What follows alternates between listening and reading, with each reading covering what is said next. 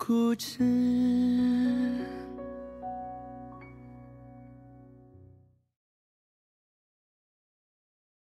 哎，小丁，小丁啷个像会服务别人的人嘛？我看他呀，在家里头啥子事情都没得做过，他到这儿就是想学我那道口水语。那你晓得为啥子他要跟你学没？为啥子？我啷个晓得为啥子？他对啥子事情都不关心，就是要学这道语。为啥子噻？为啥子？我讲你也是那么讲。哎，他肚子里头的事情，你问那么清楚做啥子？我连累他丢了那个工作，想弥补一下。师傅，你说他是不是因为别人想起，所以才想学的？你那么说，我倒是想起来了。哎，他好像是讲过，哪个爱吃我这道月子？啊，记不大清楚了。啊，行了，谢谢师傅哈。那我先走了。哎，师傅，你们家店长今天在不？哦，店长，店长在大厅。谢谢师傅。哎，妮儿，哥跟你说个事儿啊，以后啊还是别说四川话了。中。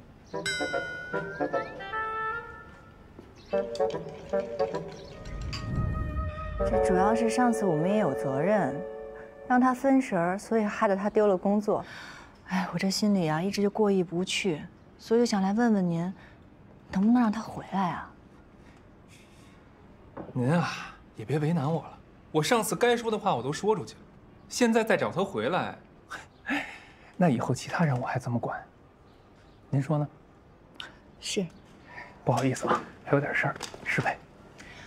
我记得我上次写江州美食地图的时候，就对这家店印象深刻。这个地段不是最优秀的，也不靠网红装修抓人眼球，但就是味道一绝，服务态度也好。我当时就想，这店长是谁呀？怎么这么有能力？果然，现在办得越来越好了，我很欣慰。这美食地图是是您写的？不是说丁野的采访已经步入正轨了吗？怎么现在还是拿不出来东西啊？呃，这个丁野这个人，他确实比较难接触。之前很多人也尝试采访，但都失败了，所以也不能完全怪英子。拿不出来就放弃？我等了这么久，你是让所有人都陪你去追星吗？对不起，总监。这是你的续期申请。拿回去吧，我们公司不白养没有产出的人。贺总，您误会了，谁说黄莹子没有产出啊？相亲中介这个选题啊，内部反馈非常好，这都是因为初期搜集的资料做得非常到位，而做采风跟收集工作的就是黄莹子。抱歉啊，总监，没跟你打招呼。我是私下托英子帮忙的。你是项目组组长，你有权决定自己的人手。所以，英子有没有兴趣正式加入我们的选题小组？婚恋中介的素材已经够了，接下来就要接触那些相亲对象。我已经是个妈妈了，所以这些事情还要靠你们年轻人。我愿意。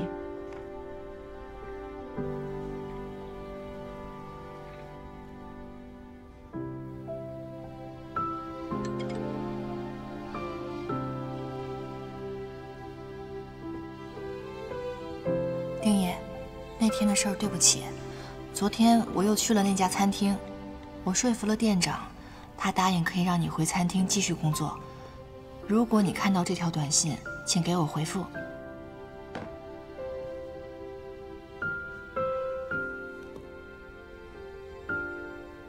丁野啊，我都好几天没见到他了。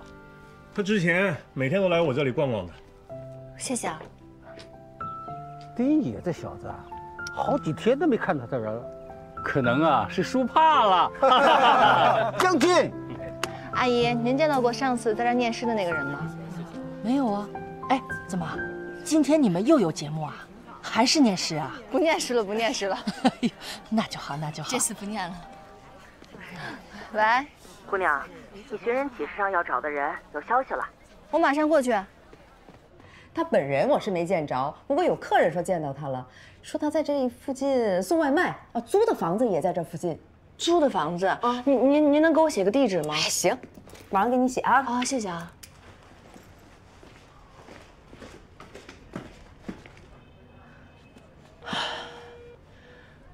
蒋毅，蓝冰的事有下落了。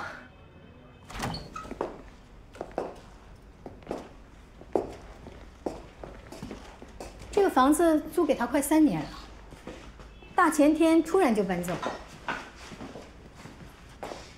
虽然人是埋汰了一点儿，但是还算靠谱。房租总是拖，但是也没有欠着不给。您知道他搬去哪儿了吗？他什么也没说，我连他手机号都不知道。他每次给租金都是给我的现金。哎，你说这都什么年代，还有他这样的人，活得跟十年前似的。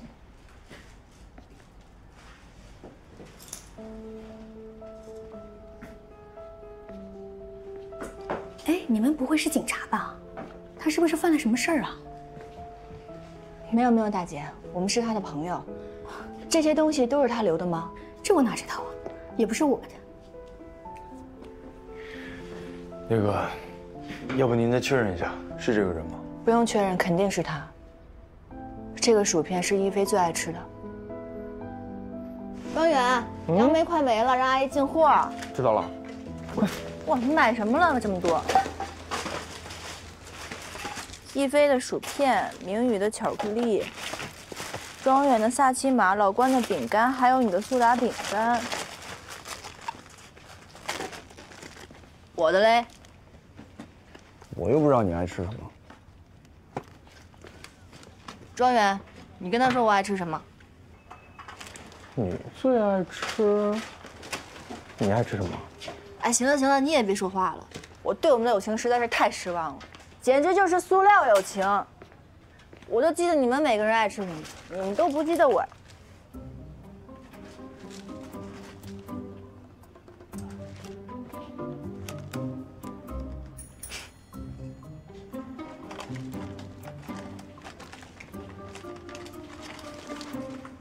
喂，这是谁干的好事啊？嗯，是谁刚才说的？我对我们的友谊简直是太失望了，我们简直是塑料友谊。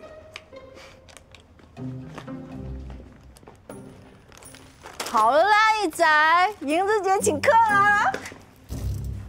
啊，问你个问题，你说，你为什么要跟任开计换座位啊？那你最近为什么还老躲着我呀？我先问的你。我就是想离黑板那近点，我视力不好。真的？对啊，我差点都配眼镜去了。没有别的原因了？那还能有什么原因？那该你了。我，我因为要高考了，全民学习。你这理由比我那还不可信。嗯，是吧？没有手。哦，干啥都不要钱，不要吃。发惨了。走了？这么快就到了？怎么这么快就到了？你送我一路啊！那可是慢风来的好像是啊。别在这拉拉扯扯的，旁边那男的是谁？看见不好。那不是那二厂车间的副主任吗？我爸还跟他认识，还带我去过他家呢。这男的是不是结婚有老婆了？这，他结了，他老婆还挺凶的，还当我面骂过他呢。原来是真的。现在怎么办？这怎么办？我们要不要告诉一菲啊？那你都不知道的事，我怎么说呀？这才几天了，老呢。这人真是……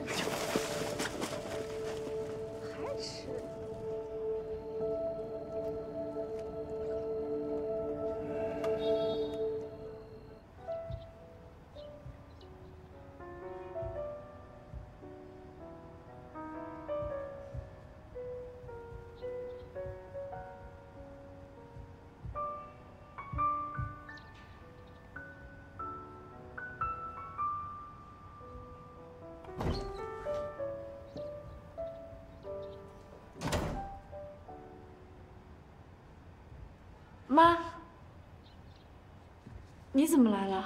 阿姨好，林子好。我今天下班早，过来看看你。阿姨，一菲特别的刻苦，没有偷懒。我知道。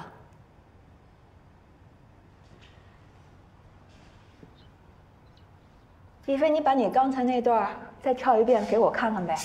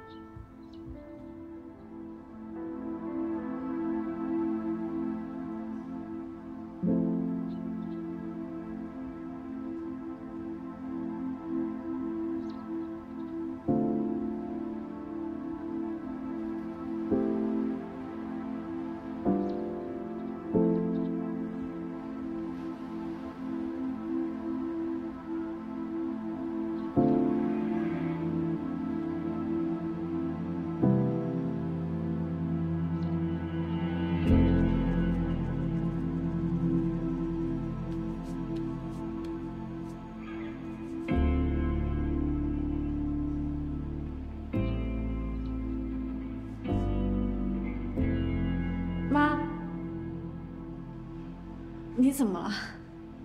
啊，我没事儿，我就是太激动了。我觉得我闺女跳的真棒，以后啊，你肯定能进中央芭蕾舞团。妈，你以前不都说我一会儿这儿跳的不对，那跳的不好吗？你，你今天怎么还突然夸起我来了？那还不是对你要求高啊？不过妈从心里边觉得你比我，比你爸都强。以后我不想让你像我们俩一样没出息。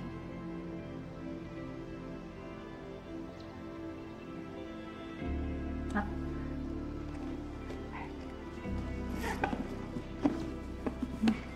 这是什么？你打开看看。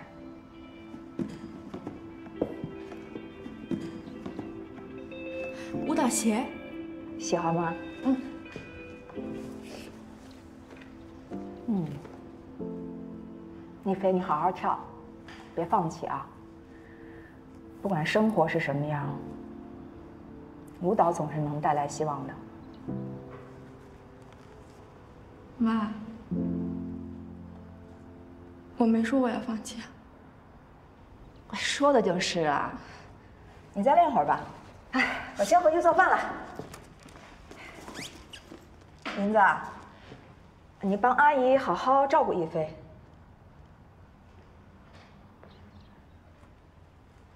哦，走了。妈，你明天还会来的，对吧？我新学了一支舞，想跳给你看。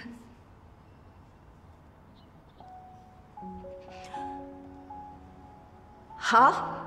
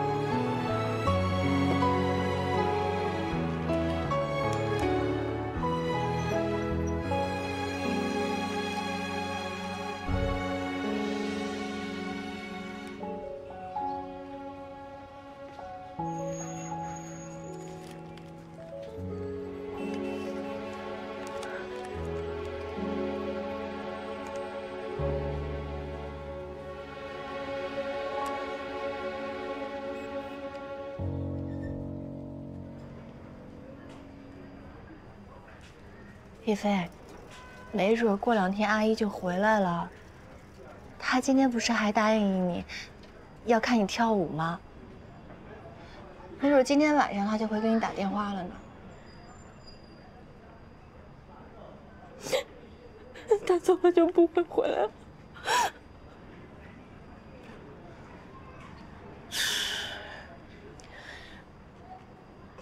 其实，我一直没敢告诉你。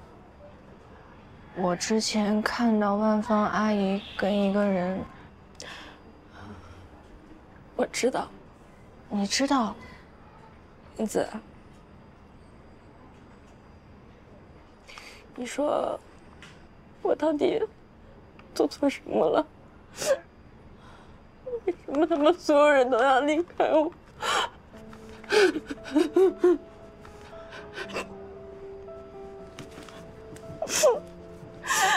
一菲，放心，我不会离开你的，我永远都不会离开你的。不哭啊，不哭啊，不哭，不哭，一菲。不哭你干嘛？东西！你妈偷我男人！你们都不是打人！你妈偷我男人！你们干什么？说，你妈在哪儿？我去哪？你干什么？我不找他了，那让我找你啊！你们打人是吧？打人后你就报警，让警察来抓你们。你们干什么？松手！走开！松手！你赶紧报！我还等着警察帮我找出那个婊子。告诉你，千万别让我找到他。走，打完人就想走是吧？信不信跟你一起打？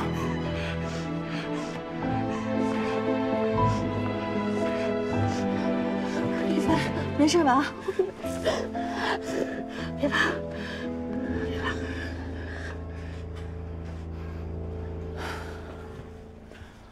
努力没有白费，我们一定能够找到蓝冰的。可你有没有想过，就算你能找到蓝冰，可一菲要是不想见他了，我为什么觉得你特别奇怪？你好像一直不想让我找到蓝冰。我不是那个意思啊，我是说，有没有可能一菲还在记恨他呢？而且人家现在也有了自己的生活，肯定不希望咱们去打扰他。你就直说吧，你不想继续找了是吧？我只是希望你能好好考虑考虑。我考虑什么呀？一菲找他这么多年了，找到蓝冰是他唯一的心愿。现在我们跟蓝冰就在一个城市，我不应该去找吗？没关系，如果你不想找了的话，我自己找也可以的。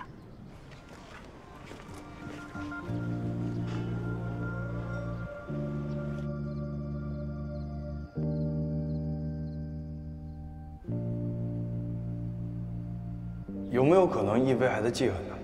而且人家现在也有了自己的生活，肯定不希望咱们去打扰他。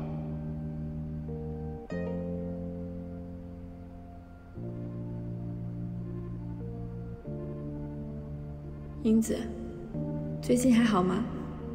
你和蒋毅、明宇庄园，你们都在一个城市，应该可以经常见面吧？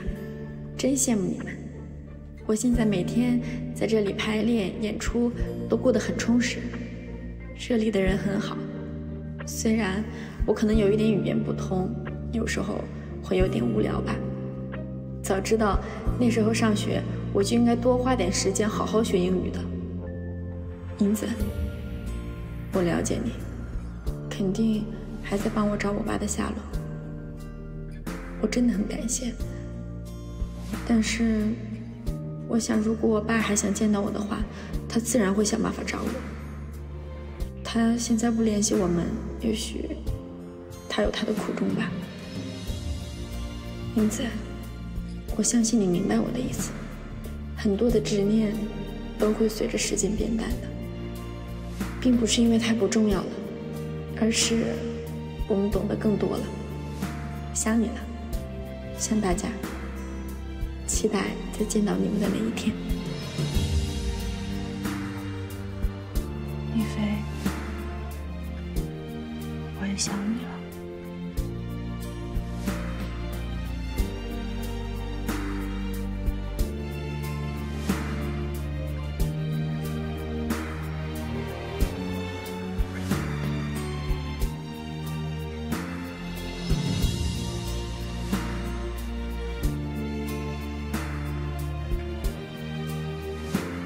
到底什么是真的，什么是假的。也许只要是你相信的，就是真的。我曾经在一篇文章里写了一句名人名言。莎士比亚曾说过，一个领袖最大的特质，就是不想当领袖。这句话其实是我虚构的，我不知道莎士比亚有没有说过这句话。但是我后来至少在三篇文章里看到有人引用了这句话。那是不是可以认为，对这几篇文章的作者来说，莎士比亚真的说过这句话？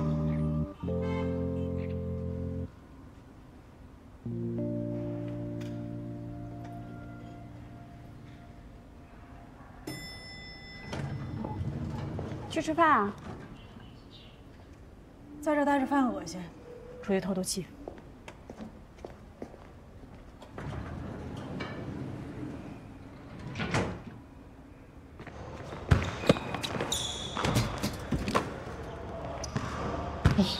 不打不打，今天没状态。别让，再打一会儿呗。不打不打，我跟你打。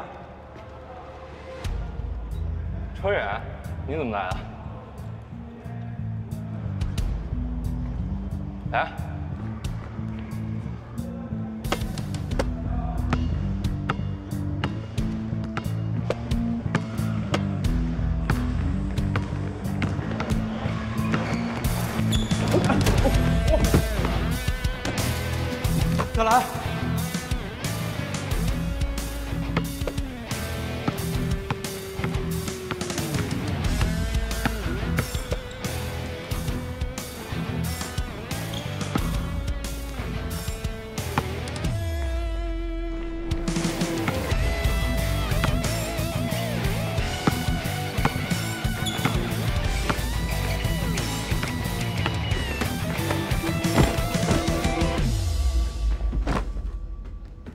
月彤，月彤，你怎么了？我怀孕了呀！方经理不是很清楚吗？发生什么事儿了？该说的邓豪都已经跟我说过了，公司的方案我已经都同意了。方经理是还有什么要补充的吗？什么方案？邓豪跟你说什么了？你还有必要这样吗？邓豪不就是你们部门的人吗？他刚刚通知我。让我尽快完成交接，离开公司。我什么都没跟邓豪说，我不知道这件事儿。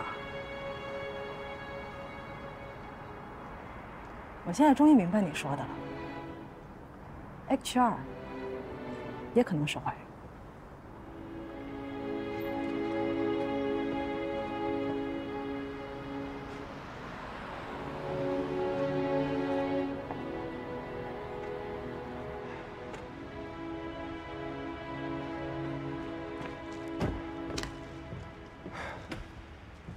行啊你，平时叫你打球出来你不出来，一打球就下个死手。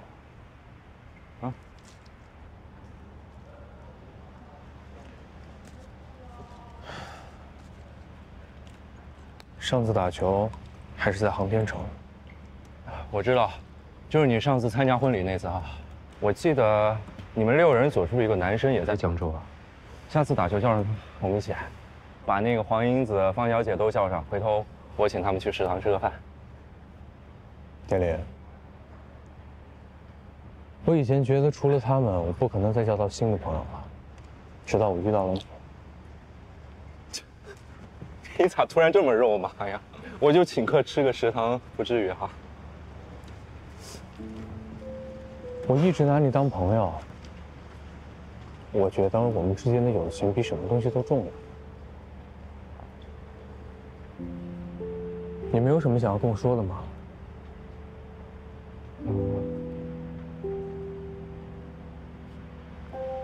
好，那我来说。我宁愿这个机会是我让给你的。庄远，其实我一直想找个机会跟你解释一下。你不用解释，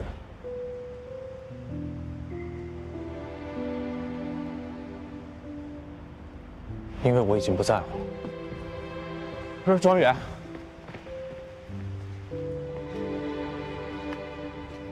经理，你知道最让我难过的是什么吗？是这所大学有两万多人，你是我唯一的朋友。但是现在，你让这个朋友也失去了。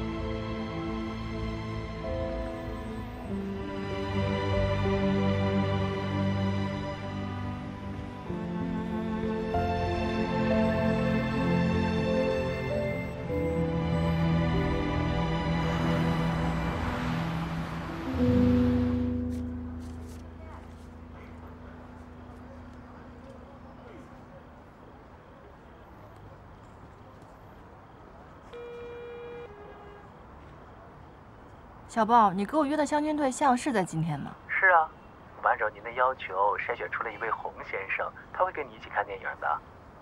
这电影现在马上开场了，他人呢？我联系他也联系不到。啊，他还没来吗？没来。哦，好，好，好，那我赶紧问一下啊。行，谢谢啊。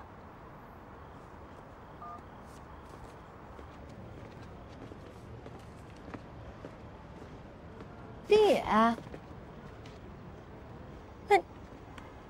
你，你怎么在这儿啊？来看电影，你在干嘛？我也是来看电影。那么巧。啊，是啊。我之前给你发的信息你看到了吗？看到了吧？那个口水鱼饭店的老板我联系上了，跟他谈妥了，他同意你回去继续工作。你为什么要这么做？还想让我继续采访？啊，不不不不，这跟采访没关系，因为上次毕竟是我还有我朋友让你丢了工作，我们想向你道歉。约了人。啊，约了人。什么人？相亲的人。啊，不是不是不是，别误会，是因为我工作要做一个相亲主题的采访，所以我就约了一个相亲的人。不采访我了，那么快就转换目标？为什么选在电影院？中介介绍的，说给我介绍了个大学老师，姓洪，爱运动，爱看电影。那反正我也喜欢看电影，就干脆一起看呗。电影快开场了，你那个洪老师还来不来？到现在都没来，估计放我鸽子了吧？人不来，电影还看吗？看呗。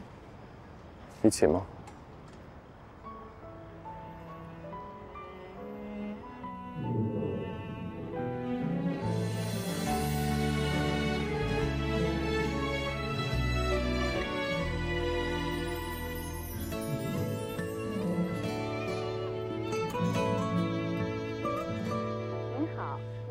耳机里响起那一首歌，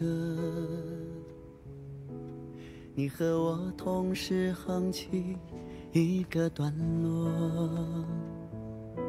阳光正明媚着，树被风翻页了，正好与你的生命重叠在这一刻。时间是开向哪里的列车？我猜到开始，却猜不到以后。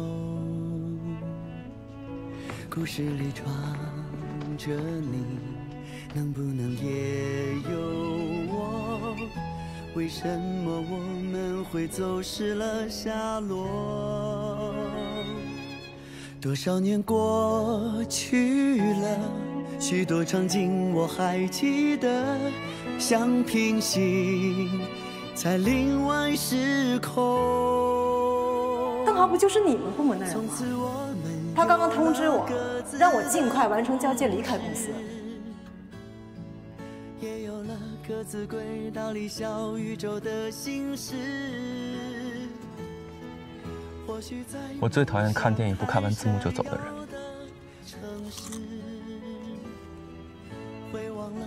丢了那无忧无虑的日子。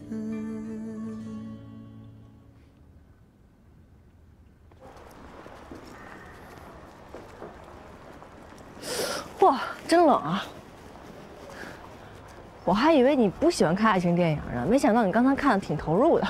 我喜欢看爱情电影，但爱情并不是吸引我的部分。爱情太可怕了，爱情有什么可怕的？爱情来了，坦然接受呗。希望当你的爱情到来的时候，你也能像自己说的那么坦然。走了。哎，丁野，你不会又失踪了吧？你已经不采访我了，还要找我干嘛？我想着咱俩毕竟认识一场，就算不采访了，我也不想最后闹得很不愉快。还有就是，上次我那个朋友，他一直想联系你，跟你谈谈迷宫版权的事情。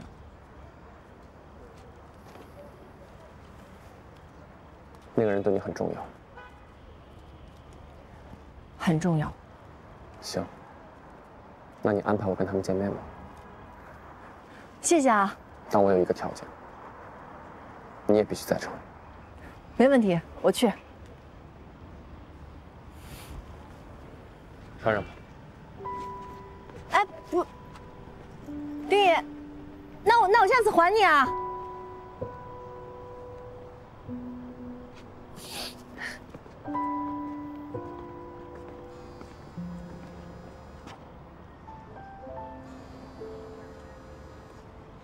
喂，洪老师，你这是什么意思呀？给你打电话你一直关机，人家姑娘都到了，你怎么能放人家鸽子呢？不好意思，我刚才有点事儿。哎呀，那你下次还约不约呀？不用约了。那洪老师，我可提前跟你说好啊，你在公司交纳的那些钱可是退不了啊。钱你留着吧。我还给你带礼物喽，这礼物可是我精心挑选的。嗯，看看，看看喜不喜欢？啊？怎么了？是谁惹你不高兴了？月童的事儿，是你透露给公司的，对吧？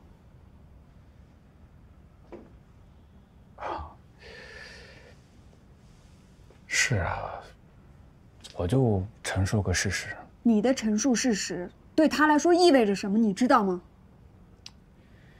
哎呀，我这都是为你好。你想想，这事儿要是公司其他人知道了，你是有失职的责任的。这是我自己的事儿。你的事儿就是我的事儿啊！我不允许你犯这种低级错误。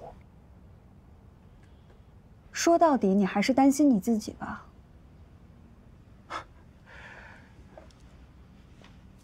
我和你之间有必要区分那么开吗？好了好了，不生气。你你口口声声说是为了我，不就是为了让我留在公司，帮你坐上副总的位置吗？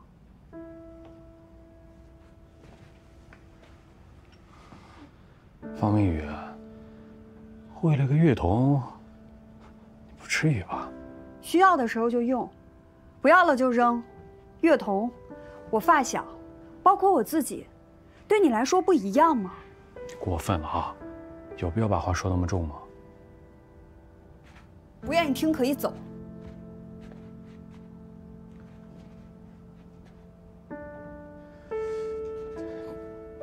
我就当你是说气话，一时冲动。你自己好好冷静一下。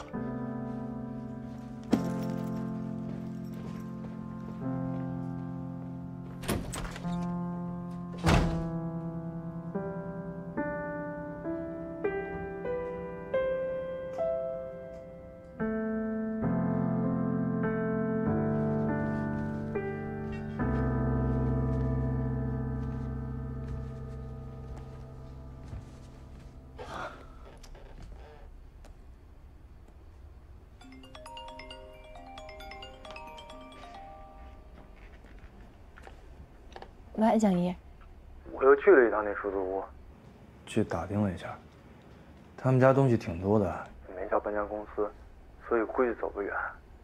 如果你要想找，明天其实。贾莹，谢谢你。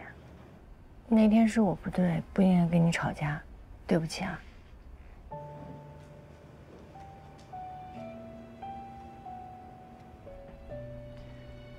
你怎么不说话？就是挺后悔现在没打开录音的。认识你二十四年，从来没听你道歉过。是啊，航天城的黄英子成长了。长大了。一飞给我发邮件了，他说不让我再去找蓝叔叔了，他可能真的想开了吧？是，可能大家都长大了吧。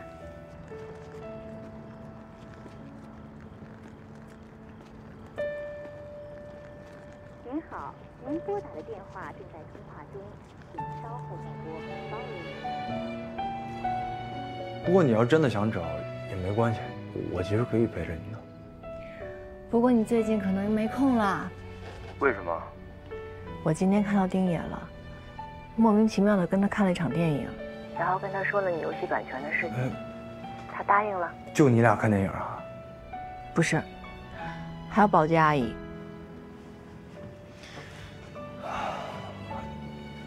你约的他？巧遇。这么巧？蒋毅，你不是吃醋了吧？想得美。行吧，那你看一下时间。定好了以后，我要带他来见你。哎，那个庄远给我打电话了，我先问问他想干嘛啊？喂喂。怎么了？这么晚给我打电话？哦，没什么事儿。不可能，你肯定有事儿，说吧。哎，真没事儿，我就突然间想吃你上次带我吃的那家餐厅了。你要想吃的话，现在咱们去呗。今天太晚了，下次呗。行，那你什么时候想去的话就跟我说。嗯，好。拜拜。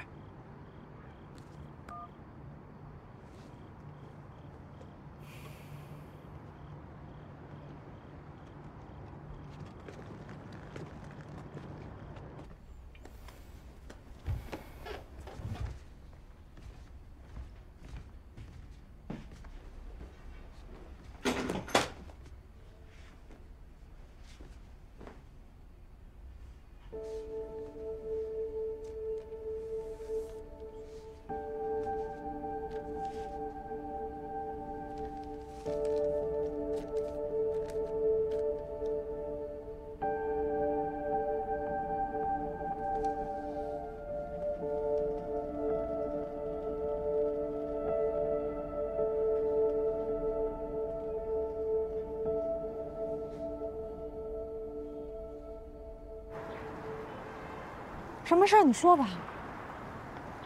公司里有别的人知道你怀孕，还查到你入职之前去妇产医院做检查的记录，但这些不是我跟公司举报的。你就没跟任何人说过吗？不过这些都不重要。怀孕并不是你的错，从法律层面上来讲，公司没有权利因为你怀孕就把你解雇。就算真走到纠纷那一步。你也可以走法律程序。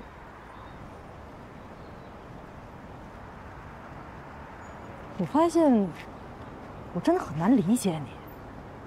你到底站在哪个立场？希望能帮到你。你帮不到我。是，你说的没错。公司确实不能因为我怀孕就把我解雇，但公司有太多办法让我待不下去了。这就是职场的规则，我对抗不了。你也一样，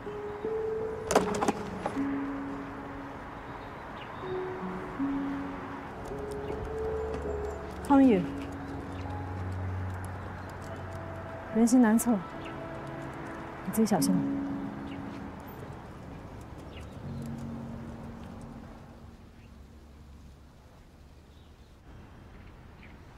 丁先生你好，蒋毅是我们公司的游戏设计师。如果我们之间合作的愉快的话，会由他来负责迷宫这个项目的游戏改编。那你负责什么？我负责介绍你们双方认识，具体的你们来对接就行。所有的事情都可以和我的代理人谈。代理人？把版权卖给你们的先决条件，就是我要聘请黄小姐做我的代理人。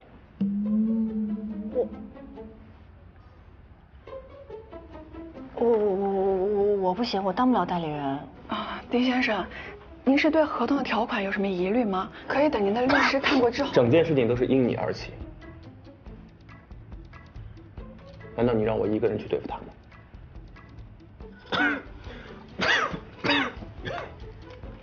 你要不先喝点水？你要是身体不舒服，要不然改天再聊也行。哟，这儿不舒服啊？别大惊小怪的，继续聊。那我们来聊一下游戏的改编思路。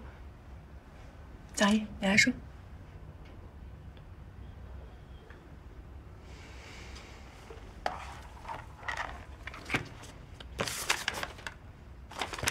我觉得迷宫最核心的创意点是在于平行世界会互相交汇，主角从 A 世界到 B 世界不会有联动的影响，这一点是迷宫非常厉害的创意。可我想问您一个问题：当您在创造迷宫这个故事的时候，他想表达的是什么呢？再或者说，它的主题是什么呢？不知道。啊，丁先生是这样的，在游戏的改编过程中，我们需要知道这本小说。你觉得呢？你帮我总结一下。啊，哈哈，嗯，那我来总结一下吧。我觉得迷宫讲的是不同的平行世界，是不同的人生。你不能因为躲到另外一个世界里，就觉得好像能把自身的麻烦全部都解决掉，因为所有的世界都是互相相关的，牵一发而动全身。我不知道我这样的解释，你是否还满意？对于我来说，作为一个作家，能有一个读者比我自己还要了解我自己的作品，这就是我最幸福的时刻。作品算作品，游戏嘛，你们做的肤浅一点也行。先别说游戏肤不肤浅了，你能不能别那么肤浅啊？蒋毅，反正就交给你们了，你们随便改。有什么事儿，跟他聊。丁羽